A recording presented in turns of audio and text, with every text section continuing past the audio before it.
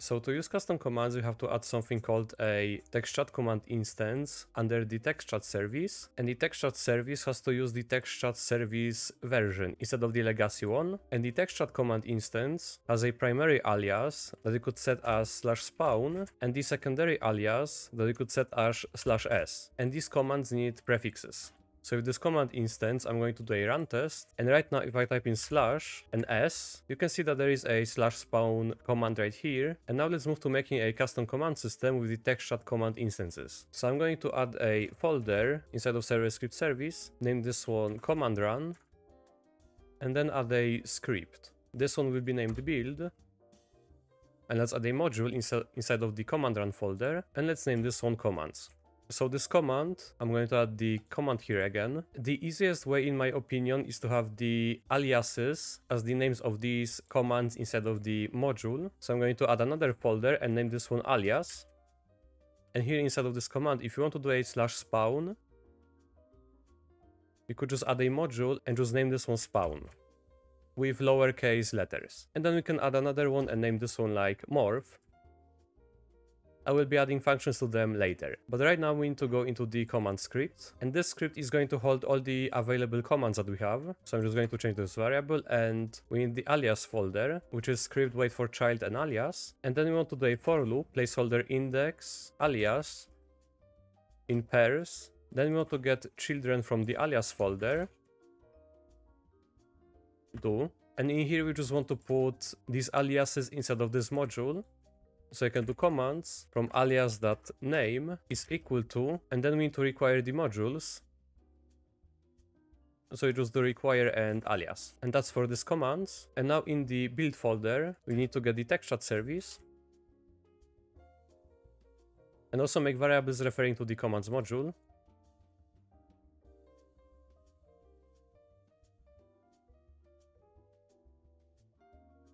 And now I can print out the commands and just do a run test.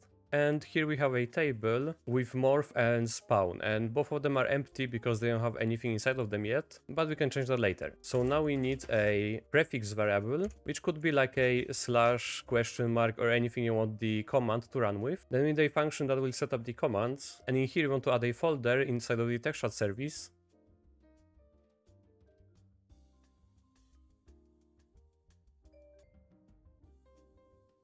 And then we want to set up a textchat command instance for every module we have. So we need to do a for loop and we do for alias command in pairs. Since this is the alias and this is going to be the command, we need to create a textchat command instance right here.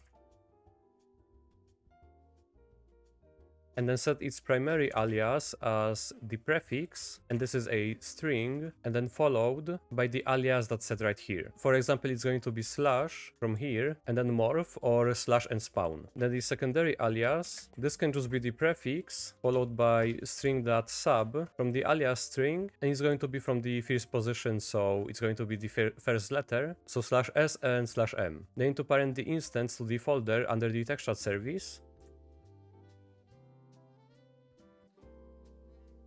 and then we can change the name to the alias. And now this is where we connect a function to the command. So we do text chat command that triggered, since this is an event, and we do connect function. And this function, as you can see, it gets the original text source. So it's a source and then unfiltered text. And the source, I need to do a playtest. If I go into the text chat service and the and then the text channels, there is the RBX system. If I go to it, this is the source of the message. It has a text source class name and that source is what sends messages in the chat. So just to showcase everything right now, I'm going to run the setup commands, do a playtest. In textchat service we have the commands folder and we have morph and spawn. So if I do slash s, it's going to say spawn. And the triggered event, right now we can just print out the source that name. So it's going to print out the player name after we run any command. So like slash s and then slash m. It's right here.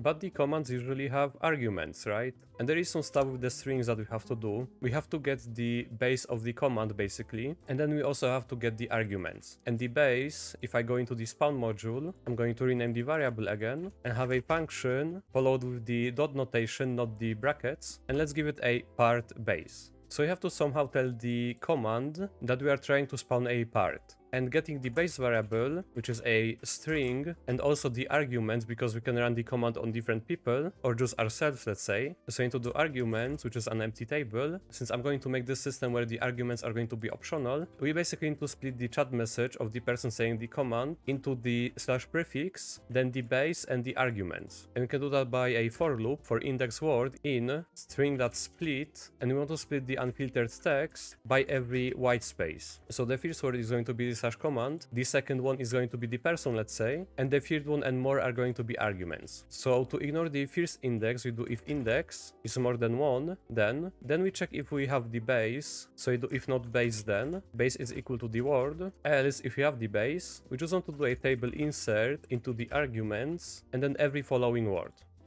So I'm just going to print out the base and the arguments. So I'm just going to say slash spawn and the base is nil because I didn't follow it with anything and the arguments are empty. But if I do slash spawn then part an optional argument, so it's going to be whatever. The base is a part, and here are the arguments. So let's continue with the build function. Now we need to check if the spawn module, let's say, has the part base, so you do local function to run, is equal to, then we go back for the commands, and to refer to this table and this base, we just do commands from the base, but then we also have to check if base exists, then, and another check we need to do is, is all lowercase, so you just follow it by the lower method of a string. And just having everything lower cases is not going to cause you problems and having to write 20 different formatting methods. So then we basically need to check if we have a function to run, so we can do if not function to run then, and then return and end. And then as if you have the function to run, we just run it, and here we can give it different arguments. One of them is going to be the source, and then the arguments table. So that's basically everything for the build script. If I go to the spawn part, this takes the source and the args. Inside of here I can print out the source and do a playtest. So if I say slash spawn, it's not going to do anything because it doesn't have the base later on. But if I do slash spawn part, it's not going to work for some reason, wait. Oh, not commands, from command. Or this shouldn't be command, this should be command type. So now if I do a playtest, again slash spawn nothing slash spawn followed by anything, nothing and then spawn part. And then it printed out the source right here. So that's basically how you do a command system, but I'm going to show you different stuff with the let's say morph and the spawn. But basically both of these things are going to do something with the player. So I'm first going to add a folder and inside of this folder, I'm going to add a module script that's going to be shared between these commands. So this one will be named shared. And this module, what it's going to do, instead of having every function inside of a command, getting the player from the source, because this is the instance inside of the TextChat service, and not a player instance, this module is going to be named fetch, player, and an instance. So right here I'm going to get player service, and then do a local function named fetch player, and I'm going to return the function. And what we can do inside of these functions, we can pass in the source and the arguments, and this will fetch the player basically. Either if we want to do something like slash me, or we just want to do something with a different player.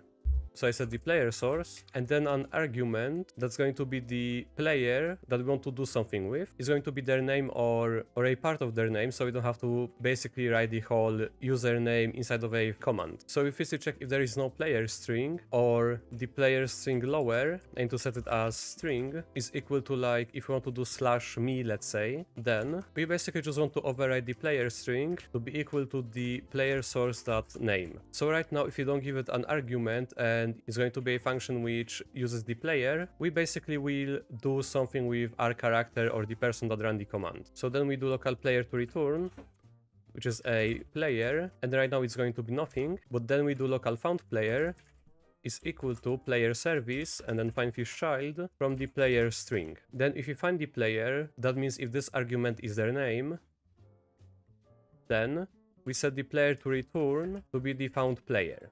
But if someone just has a bad nickname, like, you know, just I, I, L, L, I, whatever, instead of having to write their whole name, what we can do is, let's say, get the first few characters of their name and just match it with the player string instead. So you can do for index, player instance, in pairs player service, and then we get the players do. We want to do a short name.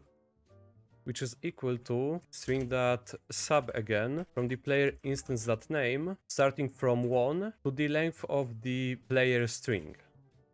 So this basically, if someone provided the player as the argument as ABC and their nickname was ABCD and then a bunch of numbers, it's going to check if the player instance has ABC at the start of their name. Then you just want to compare if this player string and want to do everything in lower cases is equal to the short name, also in lower cases, then we set the player to return to be the player instance and then we basically just break.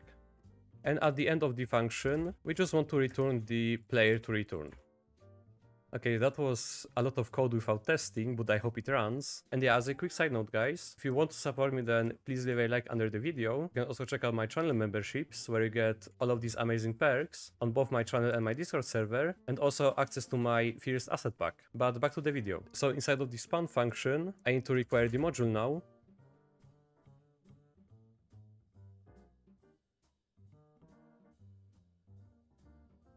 Then I do local player is equal to, or I'm gonna name this one fetched player, is equal to fetch player instance. And this is the player source and the arguments and we basically want this command to be like slash spawn and then the base which is part and then the player that we want the part to spawn on. So this would be either me and then different player or whatever. So inside of the spawn function i'm going to do if fetched player then. I'm just going to print out the fetched player instance. So i'm going to hit play. And now i'm going to say slash spawn and part. And this gave an error because i didn't give the argument and not arguments from one so that's my bad. But if I do slash spawn and then part, it's going to print out my instance because I was the person that ran the command. Same if I do slash spawn and part me, like so. And if I do slash spawn and then a part of my nickname, so it's gonna be ispo, it's still going to print me out. But now let's actually just spawn the part so you can get the player's character is equal to fetch player dot character and then we can do if not character then return end if the player doesn't have the character for some reason. And then we want to get the humanoid's root part. And again we want to do if not humanoid root part then return end in case the player just fell into the void or something. But then we basically just spawn the part set the part's position as humanoid's position with a vector 3 offset. Let's spawn it above our character. And then we set the part parent to be workspace. So I'm just going to get the workspace variable, like so. So right now if I just do slash spawn part, it's going to give an error. Oh, it's vector 3 dot new. But if I do slash spawn part now, it's going to just spawn a part above my character. And right now I'm just going to do a test with two players to showcase you that the command works with multiple people. Okay, so I am the player 1 and this is the player 2. So I'm going to do a slash spawn part and then player 2. And I run the command from player 1 and he spawn the part on player 2. And if I just do slash spawn part and then player or just play, it's going to spawn a part on probably me because I'm index 1. So I'm going to be the first one in the server list. So do slash spawn part play and then it just spawn the part on me. Same if I just do slash spawn p like this. And to show you how you can add different commands, instead of having to mess around with aliases from the command instance, you can just go into the spawn. I'm going to just copy this function, paste it in and name this one brick. So it's going to spawn a brick instead of the part. And the only thing that's going to be different is going to be the material. This one will just be a brick. So now if I just do a play and slash spawn and part, it's going to spawn a part. But if I do slash spawn brick, it's going to spawn a brick instead. Okay, so that's for the spawn, but there is also a morph. And I'm just going to copy this code because I already have everything here, and I will just name this one more. And also getting the player's character would probably have to be done in a module like the fetch player instance, so you don't have repeating code over and over again. But for the morph, we basically just do, we basically just delete this, and let's just morph the player into a rig. So go to the rig builder, and then just pick the blocky avatar. So I have the rig here, and I'm going to put this one inside of the server storage, get the server storage, and get a reference to the rig. Set rig and then pivot to the humanoid's root parts position. Then we want to remove the previous player character. So I can do fetch player that character is equal to the rig and then this character destroy. And then we set the rig that parent to the workspace. Also this one should be just morph rig. So I'm just going to showcase the commands now. So slash spawn part and then with the me then spawn brick. And then we have the morph, so slash morph rig. And now I am a blocky rig character. And now let's also change the different player into the rig instead. So again, I test with two people. I'm going to do slash morph into the rig and then the player 2. And now he's a rig. And then I'm going to spawn the brick on player 2. And then same if I do slash spawn brick and then put his name with all lowercase letters. You can see that it also works. And if you don't want every player to basically be able to run these commands, there is few things that you can do. Instead of the triggered event, you can also use this fetch player instance module to get the player from the source and then have like a allow list, which could just have some IDs. So you'd have the fetched player here, and then you would just check if the player is in the allow list. So you do local is allowed is equal to, and then table that find the allow list from the fetched player that user ID, and then you check if it's true to this. Then you do if is allowed, then, and then you can just move all of this code right here. So yeah, then if you don't want the player to be able to see these commands, if I remove the spawn for example, the player won't be able to see it pop up here, and I removed it on the client, but if I go to the server and then the commands folder, the command is actually here. So as a fix you can just have a remote that's going to tell the player that hey you should delete these commands off of the text chat service. Because if I just disable it the player is still able to basically see them. So that's on a quick note but also another thing that I wanted to show, this is a demo place for the text chat service commands. This is an example of basically making the player bigger with a command right here. And the text chat command is slash super. And this place is basically available for download from the dev forum post that I will also have linked in the comments. But if you play it and do slash super, you're just going to get bigger. And there is going to be a system message saying supersizing me. So yeah, that's just a fun little demo for the command system. But yeah, that's basically going to be everything for today. So thank you guys for watching and see ya.